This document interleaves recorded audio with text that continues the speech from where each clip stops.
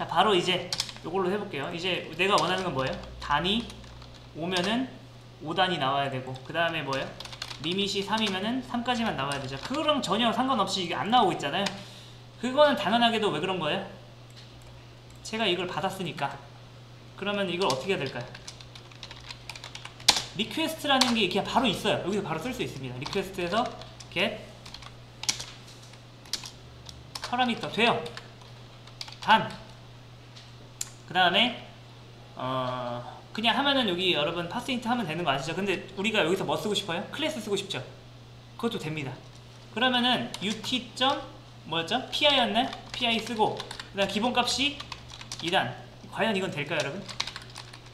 이게 여러분 servlet이라는 거 똑같이 생각해보세요. import 하지 않는 이상 쓸 수가 없겠죠?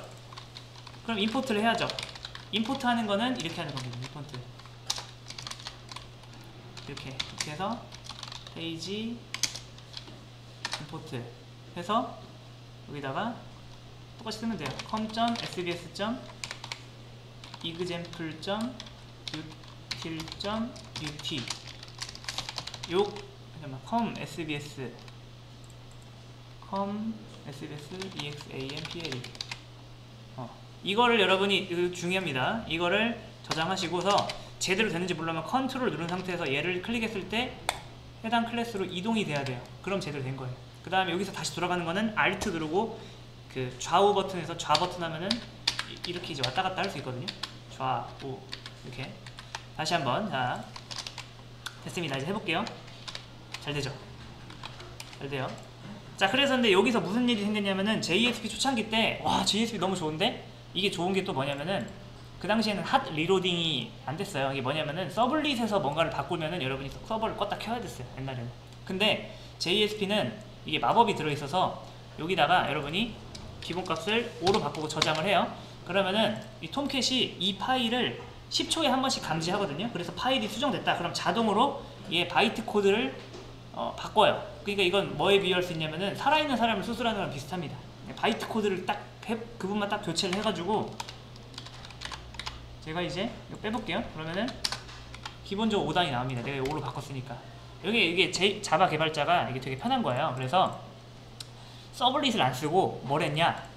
주구장창 모든 사이트 다 JSP로 만드는 거예요. 여기서 DB 접속하고 그러다 보니까 그러다 보니까 어, 나중에 뭐 유지보수 만들 땐 편한데 어, 유지보수가 너무 힘들어졌어요.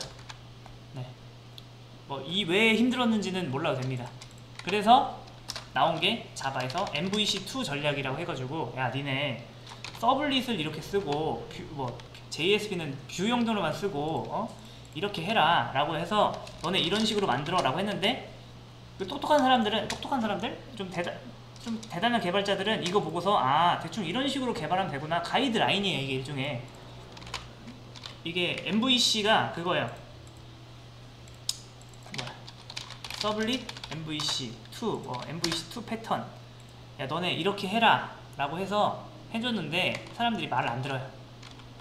그래서 나온 게 뭐다?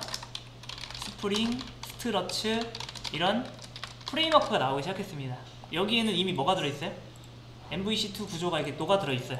그래서 네, 여기서 이제 Struts랑 Spring이 많이 경쟁을 하다가 Struts는 사장되고 Spring만 살아남았죠 현재. Spring이 현재 대세가 됐다. 라는 요런 이런 어, behind가 있었고요 자 아무튼 요거는 뭐, 뭘까요? 요거는 뭐라고 해야 될까요? 어, JSP에서 어, 파라미터 받고 UT 클래스 이용